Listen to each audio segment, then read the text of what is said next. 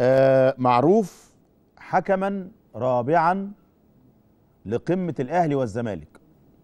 قررت لجنة الحكام الرئيسية برئاسة الكابتن جمال الغندور تعيين الكابتن محمد معروف حكمنا الدولي. حكم رابع في مباراة الغد لنهائي كاس مصر. أيضا تعيين سيد مراد مرافقا للحكام حكام الأجانب طبعا. والكابتن عبد الستار علي مراقبا أيضا للحكام.